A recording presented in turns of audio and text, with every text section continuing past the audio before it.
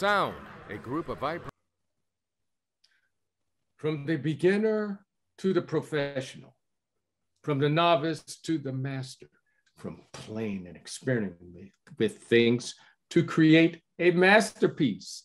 These are all the elements of art. And on this show, Sounds Within, the art is sound. Hi, I'm LV Smith, host of that show called Sounds Within. Hey, I've been blessed to have some phenomenal guests, but you hear all this trash about Meta or Facebook. I don't care what it's called with all this mess going around. But that's how I met this guy, Brian Skinner. I mean, he just came on the show and stuck his face at the camera and says, You got to play every dad burn day. And then lo and behold, it, we became friends. And I just said, fat chance. I asked him, Would you come and do a show with me? He says, I'd be glad to, man. I'd be right there. And I says, Oh, we got him now. We have Brian Skinner in the house. Say hello to the audience, Brian. Hey there. How's everything? I'm so honored to be here. Thank you, LV, for asking. And I, I'm very excited to be here. Come on, I wasn't asking. I, I was downright begging, man. I, am not ashamed. I'm not ashamed.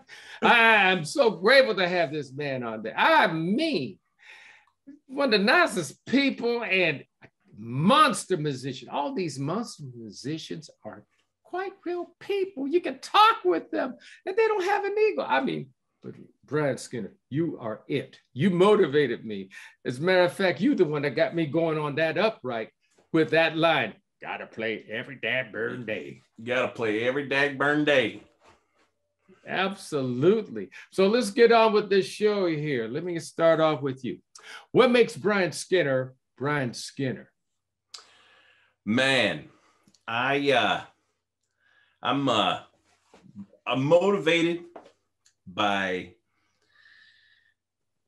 just encouraging others is uh one of the things that that makes me who I am. I have a a a wonderful life. I have a, a beautiful wife and two kids, and uh, they make me who I am. Uh, I'm pretty much what you see is what you get.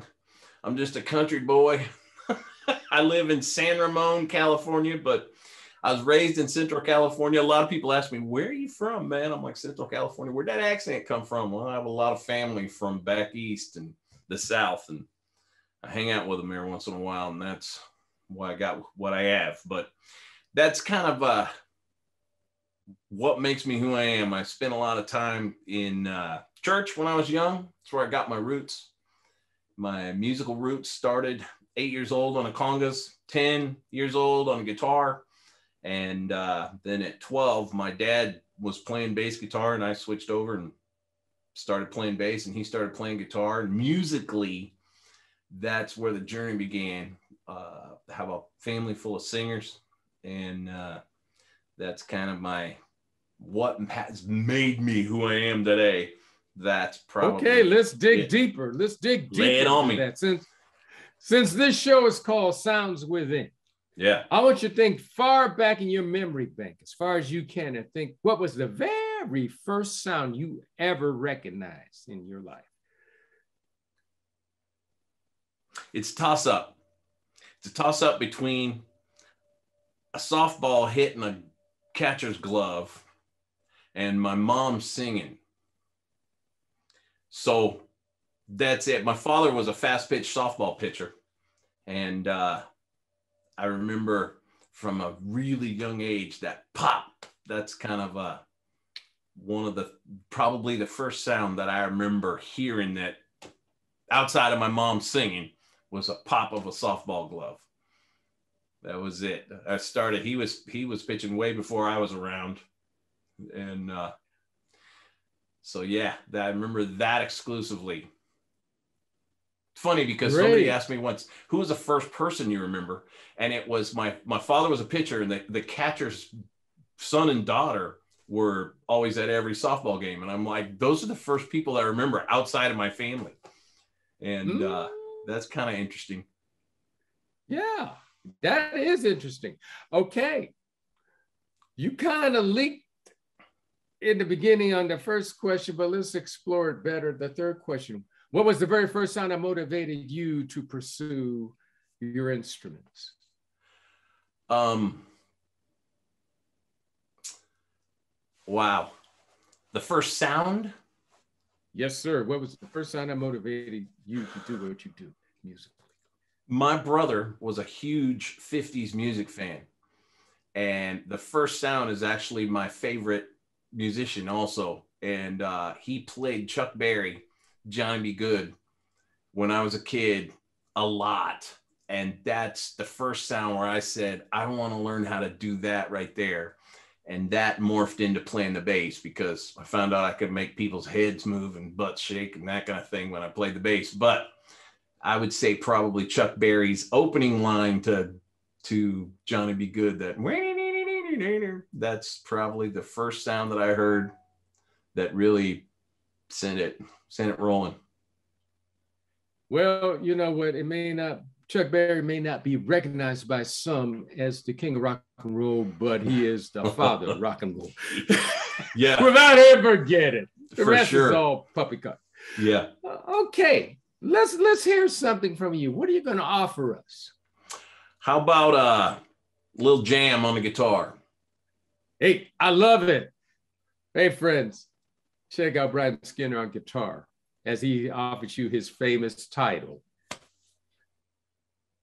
So yeah, that's uh this Brian. You got to play every dagburn day. That's how I that's how I introduce myself almost every time on uh, social media. This is one of my jams that I do.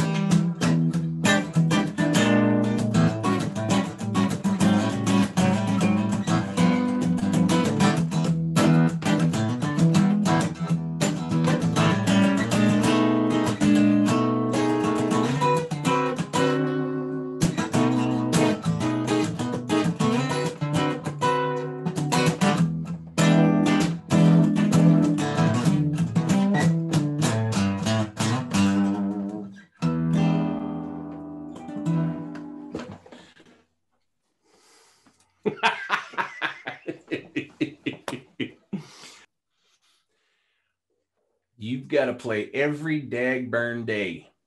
I'm Brian Skinner. You're watching the Arroyo Channel. My poetry is about viewing the world as I saw it as a young man, and down to the ages I continued to write verse. I used that as a creative expression, but it also helped me through life because I could address certain issues, certain feelings, and certain appreciations. I'm a retired school psychologist, and helping people was my thing. After my stroke, When Meals on Wheels started, I was on the other end of the stick, so to speak. And uh, suddenly I realized I was there where those other people were. My name is Julius Gaines, creative writer, poet, photographer. America, let's do lunch. One in six seniors faces the threat of hunger, and millions more live in isolation. Drop off a hot meal and say a quick hello. Volunteer by donating your lunch break at americaletsdolunch.org. Woo! I'm Brian Skinner. You're watching LV Smith and Sounds Within. Hey, folks, if you're thinking of playing, you better follow his advice. You can play every dad bird day. I be ever since I met this guy, he was upright. I make a point. I'll never be like him. I won't be an Esperanza Spalding or whomever, but I do tr- make sure I get a chance to play every dad burn day. Brian, that was inspirational. That was killer, man. That was absolute killer. Now, um, what are some things you do to motivate you to get where you are now? Man, uh, I think uh, I started turning my focus from myself and out that way towards others and uh, really started trying to motivate. I trying to do what i did to you trying to motivate people to play trying to motivate people to write and uh, uh, that was that's huge. Um, spent a lot of time in in wildland fire. I was a firefighter wildland firefighter for 17 years and i uh, saw a lot of stuff. And um, I one of the reasons why I try to motivate people to write and do something artistic, write, draw, whittle, whatever you're gonna do, is uh, it it's healing, and it it can really make you instantly feel better, or in five minutes feel better if you're not feeling well or going through something, and uh, totally forgot your question, but this is where I've gotten to now. a major motivator you are. I mean, seriously. Appreciate I was on upright uh, learning from my present bass teacher. Mm-hmm. And he does not play a fretless or upright, maybe he had in high school days stuff, but he's a monster like that. But he told me, he, he told me, I want you to learn a Miles Davis tune and I want you to play fretless. and I go like, ah, oh! there you go. No pressure, nothing. no pressure. And so as I was going through it, I started to feel it. And I go, your words came back to me. said, just feel, let go. I go, okay, I won't be who that killer is on bass, but I feel it. Yeah. Thank you for that. That's the now main it's back thing. to you. That's the main thing. If you can what you're doing, if you can feel it. I do a lot of posting, Facebook posting and other postings where I'm I'm woodshedding actually. I'm not I'm not performing. I'm just I'm working out.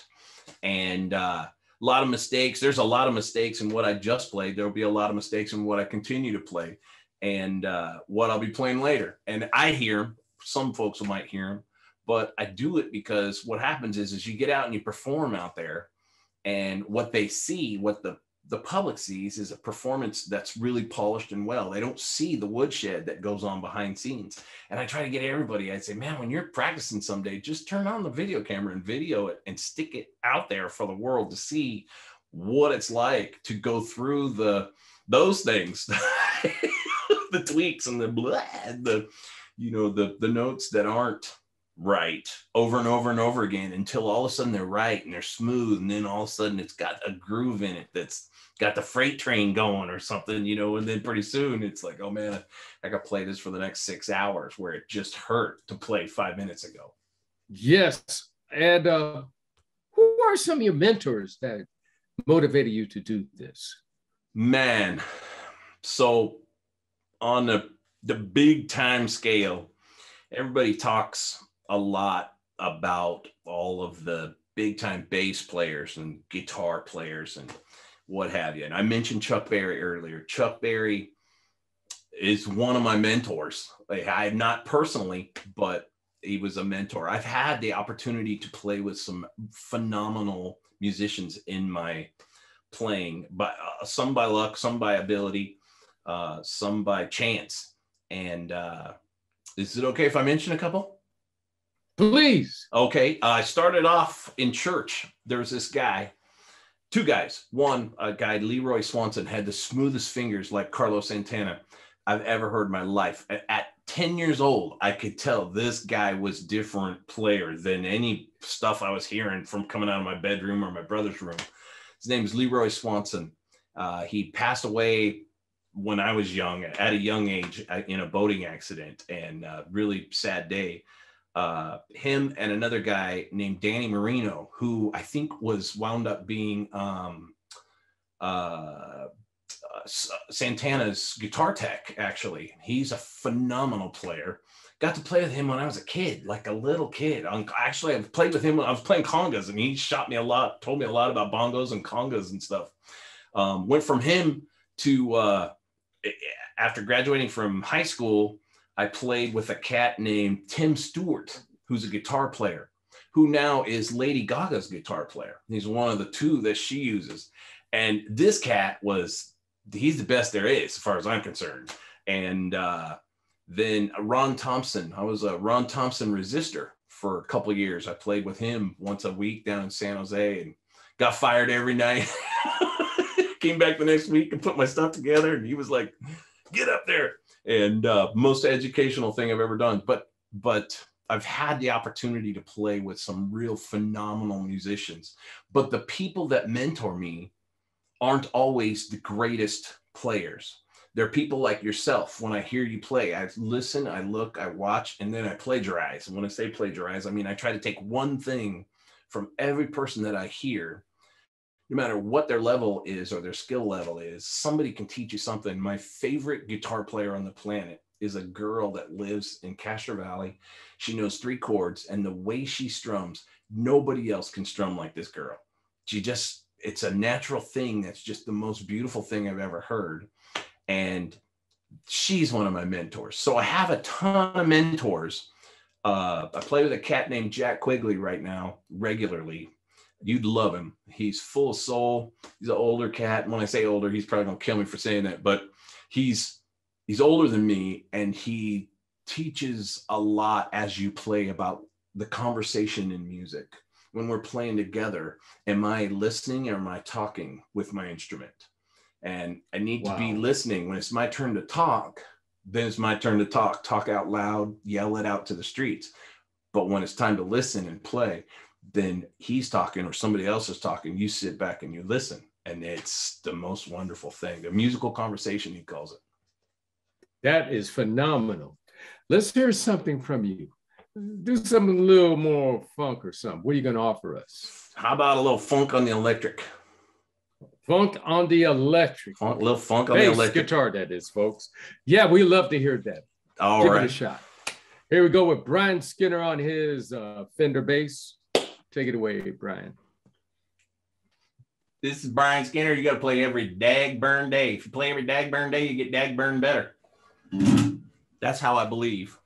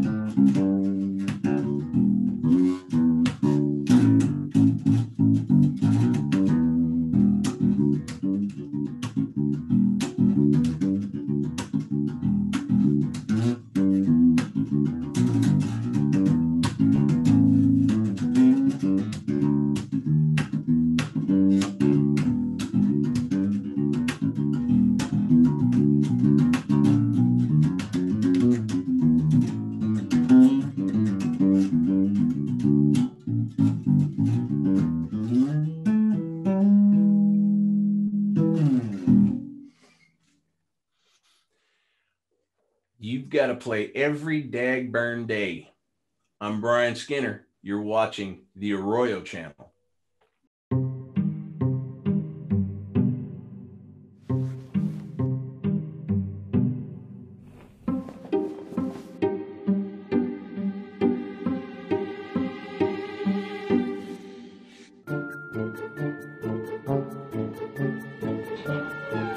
The smallest moments can have the biggest impact on a child's life.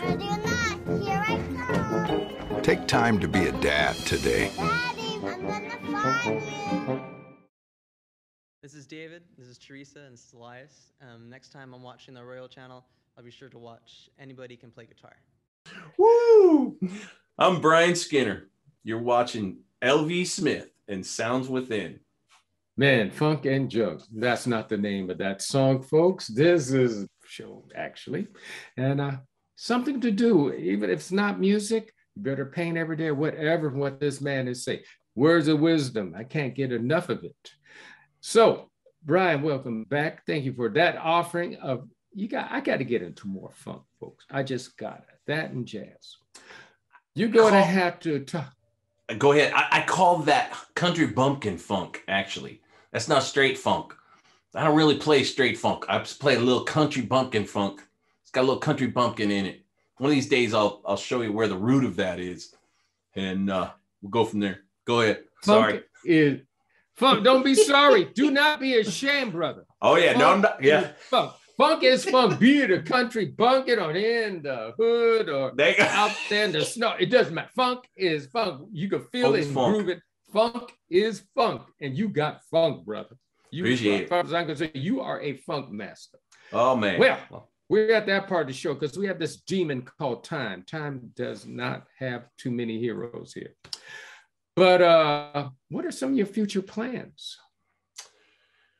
Well, I'm sitting in a a studio in my garage that I've put together. I just literally ran a wire underneath my house today so I can get some good internet service to you. And uh, I want to try to.